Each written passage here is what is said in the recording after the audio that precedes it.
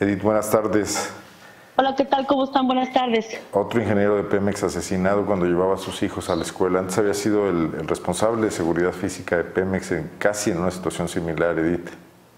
Así, así es, señor. Eh, por la mañana, alrededor de las 6.25 de la mañana, se escucharon varias detonaciones de arma de fuego en un camino, bueno, se conoce como el camino que va a la, este, al, de la calle Rafael Ramírez de la colonia magisterial cuando este bueno de acuerdo a estos datos que tenemos preliminares es que él habría salido de su casa para llevar a sus hijos a la escuela y este ahí es cuando lo matan. Sin embargo no sabemos si ya había dejado a los hijos y regresaba este porque de los de los menores en este caso eh, pues se desconoce si algún familiar los recogió después del, del hecho si fueron trasladados o qué pasaría con con los menores. Sin embargo, pues hombres armados habían llegado y disparado directamente cuando el hombre conducía este su automóvil por la mañana. No sabemos de qué departamento, en qué departamento laboraba en Pemex.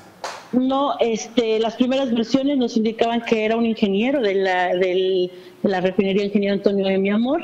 Este, y ya después solamente eh, los estuvieron comentando que era un trabajador de, de Pemex, ya no quisieron decir que era un ingeniero y de, y de, qué área. Las versiones hasta ahorita, las preliminares, es la información que tenemos, que sí era un ingeniero de Pemex y que laboraba en la misma refinería. Un automóvil Challenger Dodge color naranja. Edith, le, colocaron una cartulina en el parabrisas del vehículo, eh, mensaje de grupos del crimen organizado advirtiendo a otro grupo, ¿no?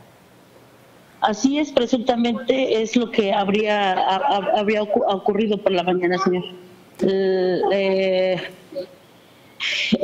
perdón, es, el, es, la colonia Infonavit 3 hacia el Vergel, este, para precisar bien el dato, eh, por, la, por la mañana. Este, presuntamente sí se dejó una cartulina, lo que se dice nada más, lo que nosotros tenemos es que este pues es de, un grupo hacia otro grupo delincuencial que está este, amenazando a, las personas.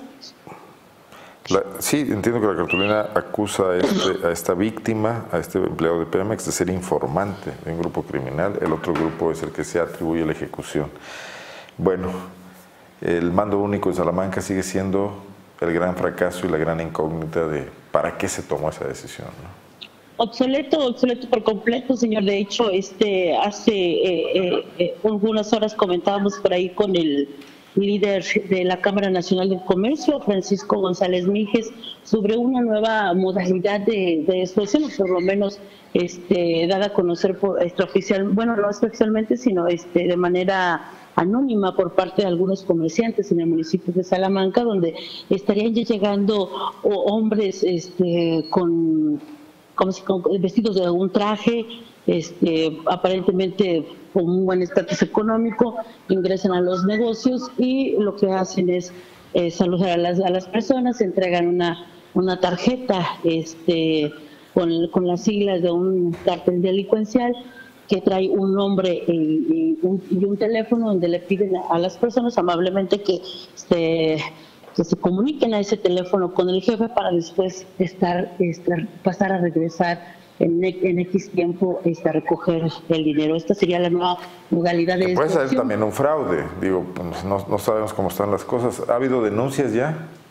Eh, dice González Mijes que tienen conocimiento de varios casos en el municipio de Salamanca.